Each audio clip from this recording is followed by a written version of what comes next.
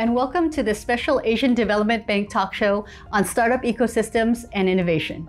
I'm your host, Linh Thai. This topic is especially interesting to me because I spent over 20 years in these ecosystems in the US and in Vietnam. I've started a couple startups in the past. I currently advise young entrepreneurs through my EdTech venture TVL group. I'm an angel investor, and I'm also an advisor to Open Space Ventures. Today, we're going to explore startup ecosystems and why they're so valuable for sustainable economic development. Then, we'll look at what the Asian Development Bank is doing, can do, and will do to support their growth across Asia and the Pacific. Let's get started. I've invited five fascinating guests to chat with me today. The first of those is Stefan Kester, partner and head of ecosystem consulting at the think tank Startup Genome. Stefan, we just had a great conversation off camera. Why are startups important? What's their role in economic development? Yeah, first, first of all, really the economic impacts. So you're creating with with startups, you're creating highly um, valuable, highly sophisticated employment opportunities for for younger generations the impact in terms of, of real job creation, that's a question every politician is asking us, is, is fairly significant. You can, you can see what's happening directly in tech startups, um, particularly as they start to scale. That's, that's an important element. Um, secondly, the indirect effects. So our studies show that for any job created in a startup or in a scale-up company, in a tech company, you create on average four additional jobs in the freelance economy, in the support economy, all the way to the coffee shops, etc., that, that are part of, of in the end, a, a, tech cluster or a tech community. Last but not least, certainly cultural. Um, startups are fast paced, they're allowed to try out ideas, try to pivot very quickly if they don't work. So it's a very different cultural dynamic that overall, again, contributes to the competitiveness of a city, a region, even a state. Let's talk about when we have many startups in one area, when we have a startup ecosystem. Could you elaborate on the role of community and its impact on startups? Yeah, so let's let's let's have a look at the success rate. The ecosystem model we've created has has about 120 KPIs, eight dimensions, but some I personally find hugely interesting. And meaning entrepreneurs helping other entrepreneurs, angel investors helping entrepreneurs, companies, executives, engineers, uh, whoever they are from, from larger corporations are helping um, younger founders without any financial interest. That's the idea of giving back or paying it forward.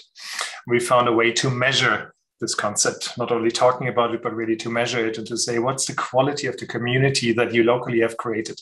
It's maybe, from my perspective, one of the most important elements, particularly for younger ecosystems. If you're creating an ecosystem, if you're you're fostering an ecosystem that's the community and this culture you really want want to strengthen. There, there are means of doing so.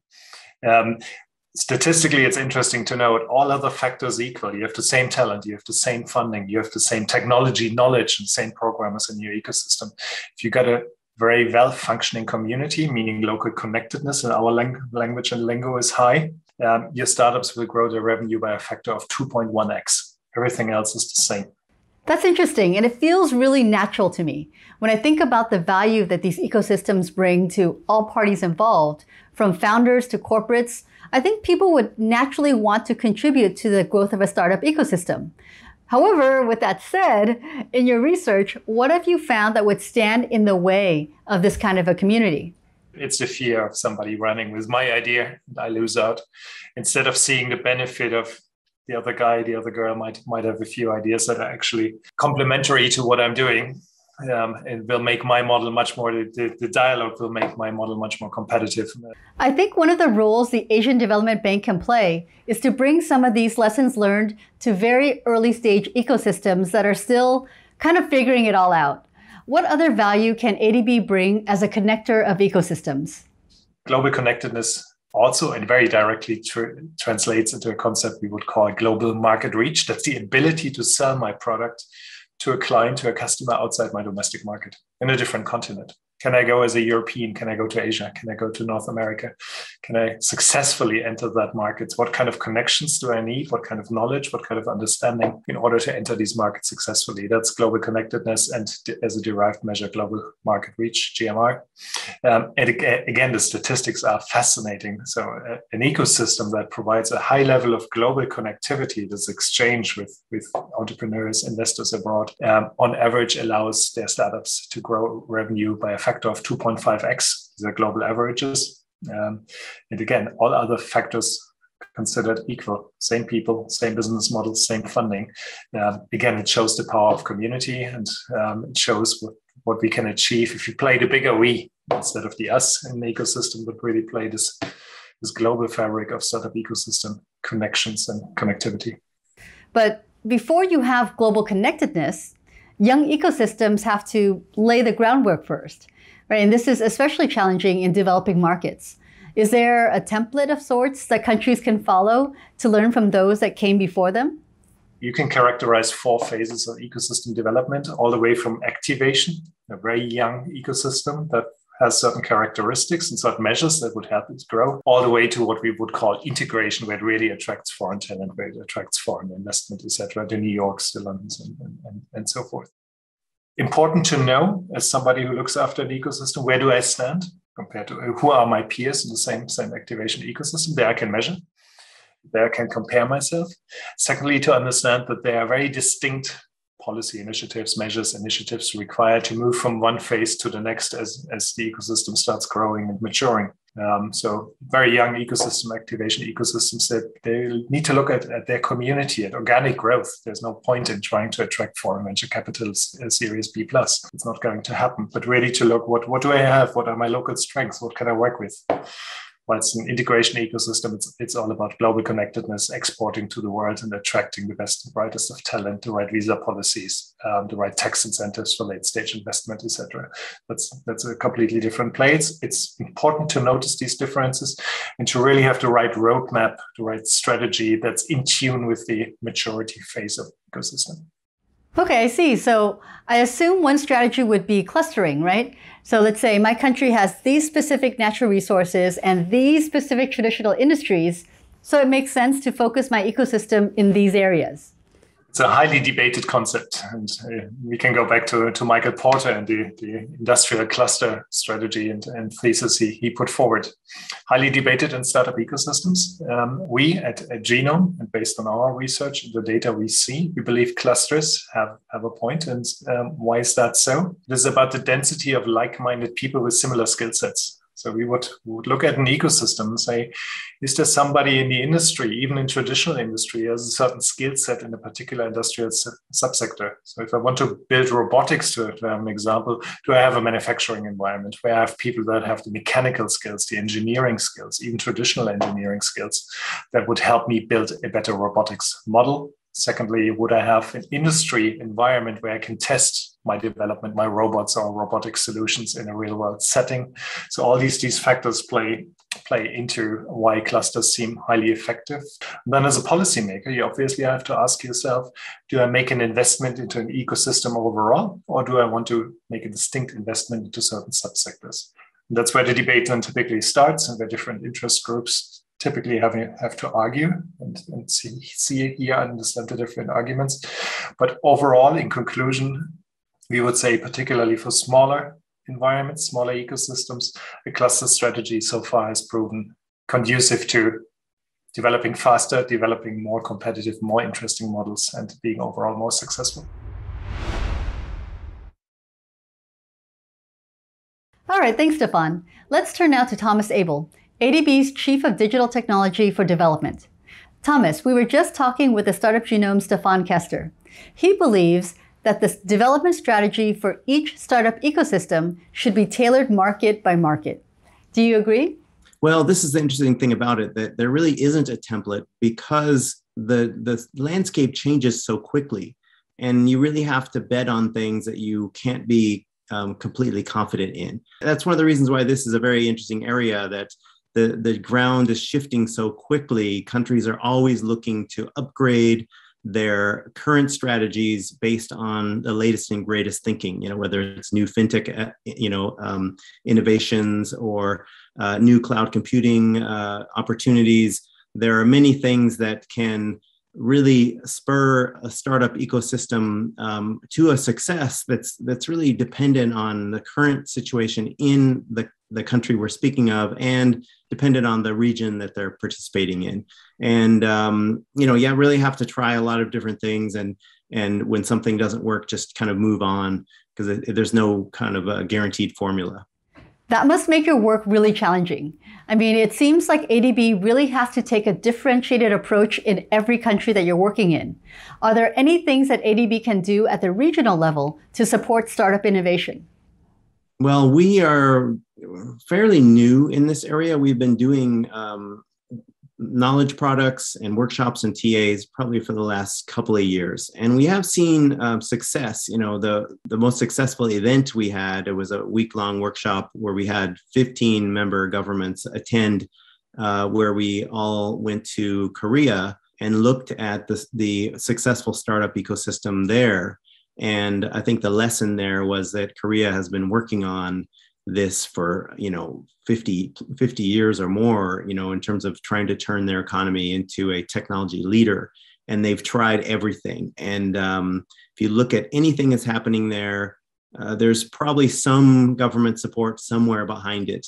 Um, but it's a wide range and, and huge mix of, of different uh, programs and they have generated a tremendous success you know now they have the largest cell phones and semiconductor manufacturing and they really have uh, core technology leadership in many areas. I know that for Korea, as well as other countries such as Singapore, universities are vital components of those ecosystems. Is that a key takeaway for developing countries? Does there need to be a nexus connecting entrepreneurship and higher education?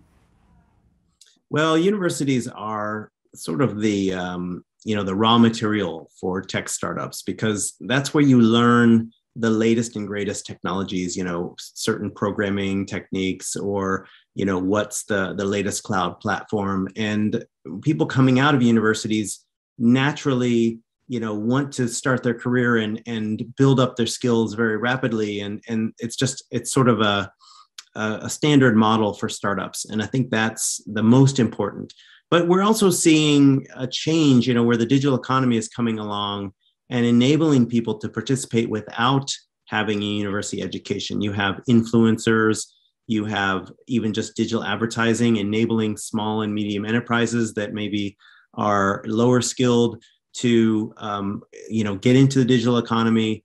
Okay, one final question. I understand there's no template for ecosystem development, but if you were to encourage governments to focus on one or two areas of policy, what would those be?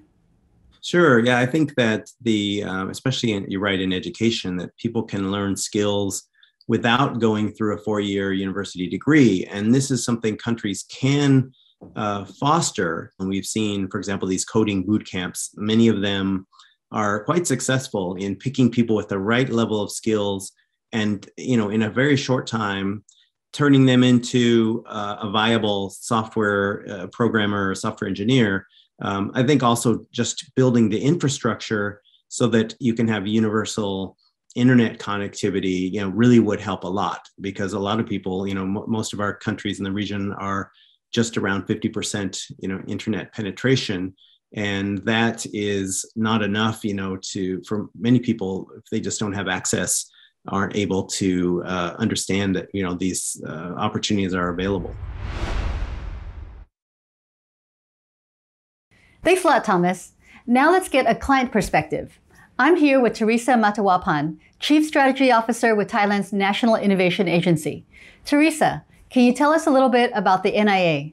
Thanks. So uh, the National Innovation Agency, it's a it's a government agency, but in a way, it's a kind of semi-autonomous agency. You know, the one that have our own kind of regulations.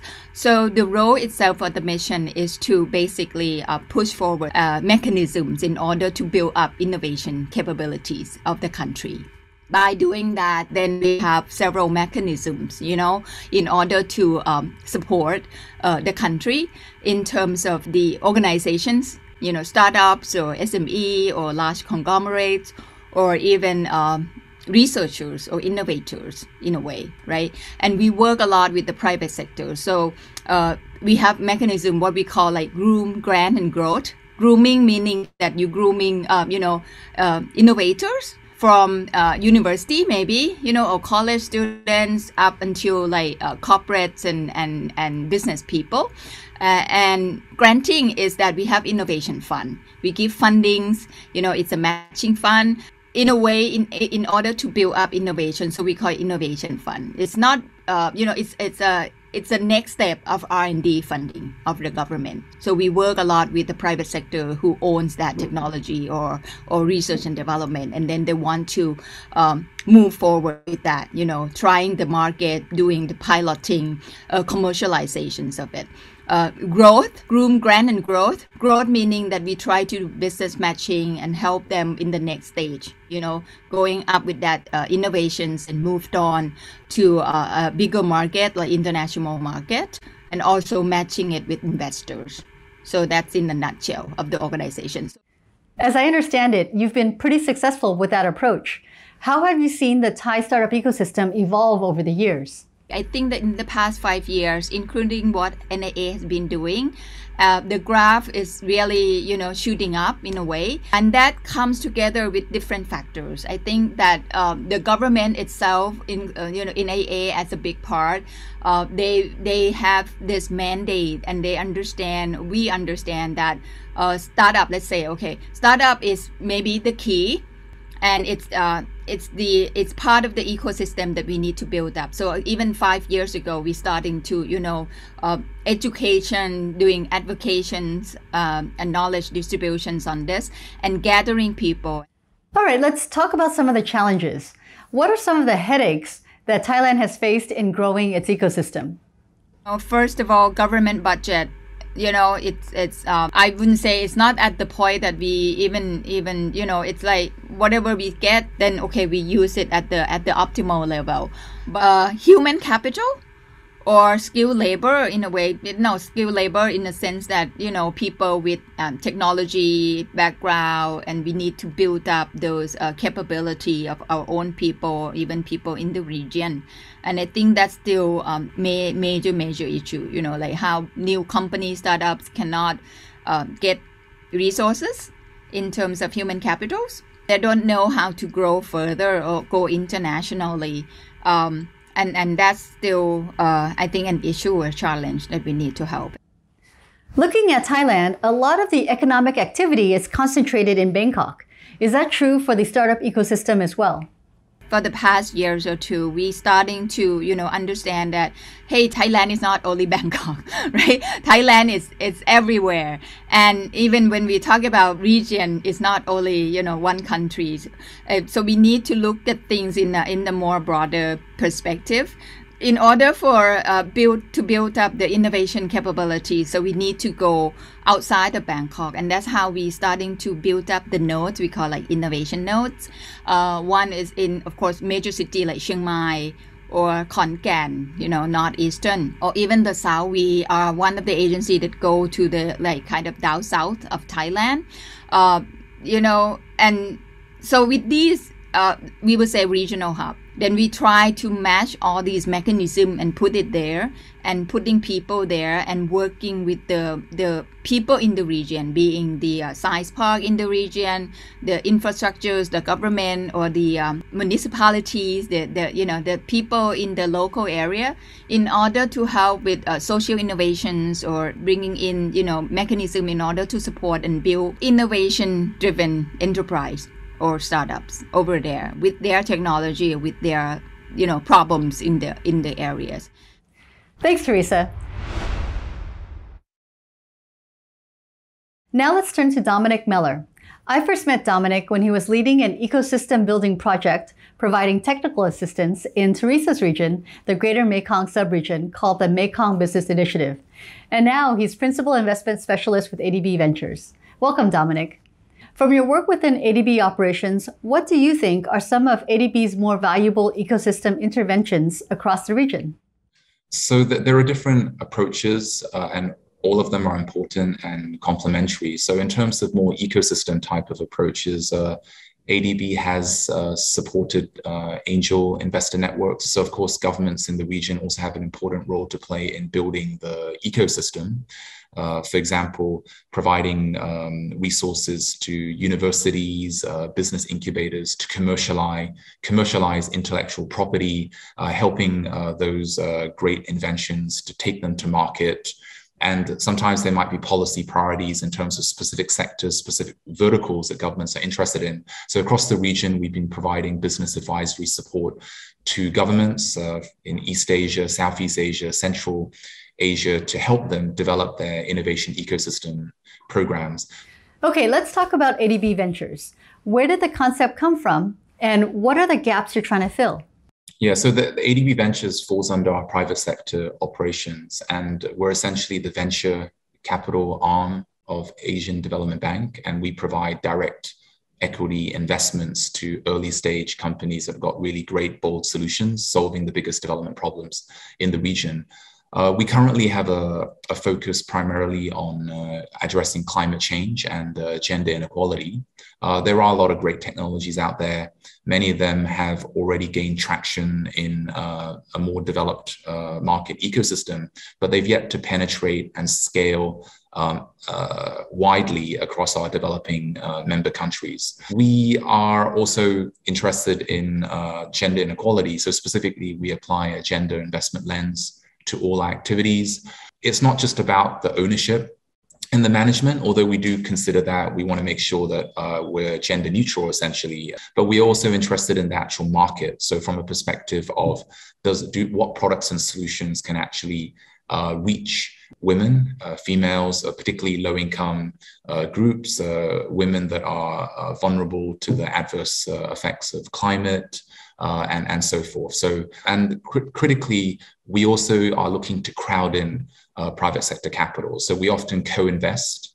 Uh, we, we do measure our success also by how much uh, private capital we leverage. So the majority of investments we do, we're co-investing with uh, angel, other angel investors, uh, sorry, just angel investors, family offices, impact funds, VCs, and corporates. So that's a really, really important indicator for us as well. Okay, so within those categories, what is ADB Ventures looking for in the companies you invest in? So we we believe that uh, commercial uh, returns and uh, impact returns or impact size are very closely uh, correlated. First of all, because if a business doesn't scale and it can only have impact at a uh, smaller local level, not to say it's a bad business. There are a lot of great businesses having very important impact at a local level. But as I mentioned earlier, we're trying to address regional problems, pain points that are not just relevant to Vietnam or Cambodia or China, but uh, solutions that can be scaled across multiple geographies and multiple clients and therefore have large impact. So, by definition, if they were to scale and have that impact. Okay, great. Thanks, Dominic. ADB Ventures is a new and innovative development model. Let's dig a little bit deeper. It appears as if ADB support for startup ecosystems is growing and quickly evolving. Our last guest today is Cleo Kawawaki, who chairs ADB's Digital Working Group. Cleo, could you tell me a little bit about your background and your experiences and what has led you to the work you're doing today? So, I joined ADB 20 years ago. Uh, so it's been quite a while. Well, before that, I was an investment banker uh, covering ADB. Within the 20 years, it's uh, been a quite a, I mean, the incredible thing is that uh, ADB gives you so many opportunities to do things that you know I didn't imagine when I entered. I mean, I was just a co-financing officer doing guarantees, and then of course with my background, uh, I went into you know privatization because I had privatized UK um, electricity companies before, and then becoming an energy specialist and an energy director, and now um, the deputy director general of Southeast Asia, and now onto the Central West. So, so many opportunities, so many iterations of, and I guess the thing that I love most is that the, the ADB is willing to let you try things Okay, so you're in the Central West Regional Department. And we just spoke with Dominic Mellor in private sector operations and also Thomas Abel in digital technology for development. Now, these experts in ecosystem building projects are spread all over the bank. So what's the, what's the connective tissue? And how is ADB ensuring that the knowledge and lessons are shared between them? I think the connecting uh, tissue, as you say, is the client what can we do for the client what is best for the client how can we support the client to do things better, faster, and well, frankly, cheaper. Why not try something that's worked somewhere else? I mean, we can you know lead the countries, or we can support the countries to realize that there's different uh, solutions.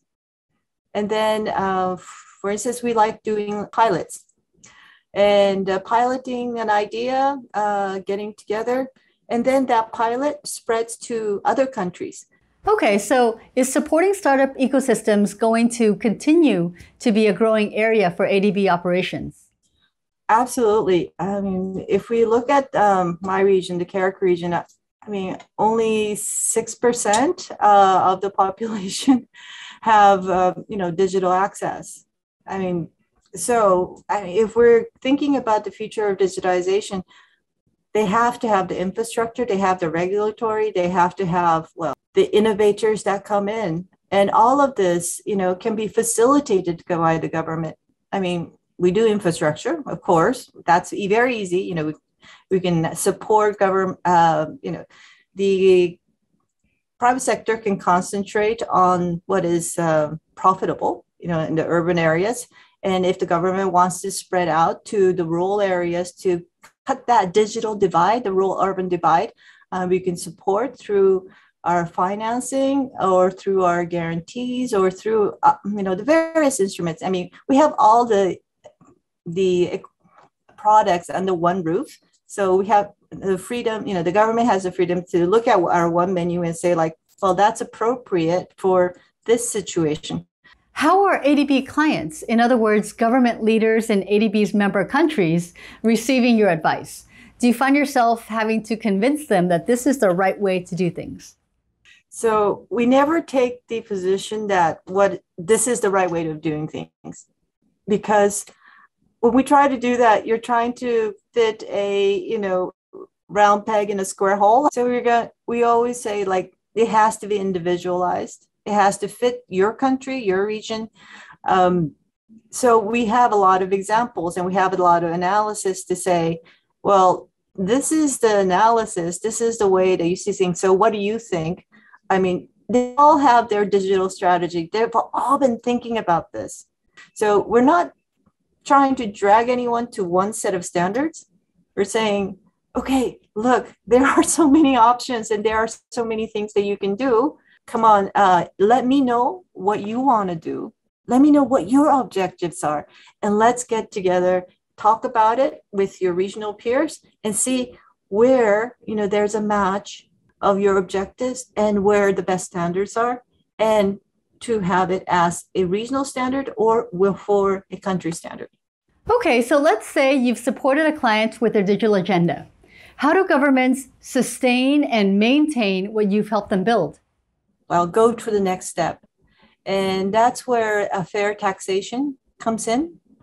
Uh, for things that are going well, you know, well, you gave the tax break in the first place then there has to be the next step of having the reliable revenues from that innovation or from the from the industry that you've created.